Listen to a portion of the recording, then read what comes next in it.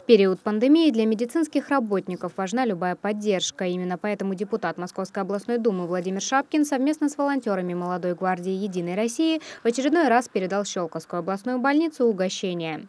Ну а мы еще раз э, говорим спасибо нашим э, врачам, которые действительно делают все возможное для того, чтобы э, у нас проходила вот эта процедура лечения от ковид в плановом режиме, и мы получали хорошие результаты. Сегодня также в составе волонтерского штаба я проехал по нескольким адресам э, доставки лекарств. Волонтеры помогают развозить лекарства по адресам.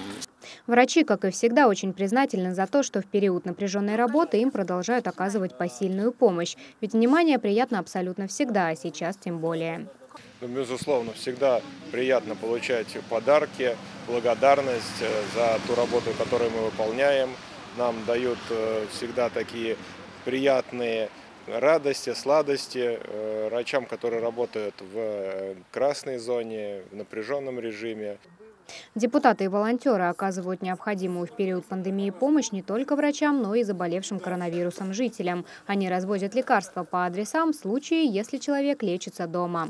Мария Буржинская, Валерий Жиглей, Щелковское телевидение.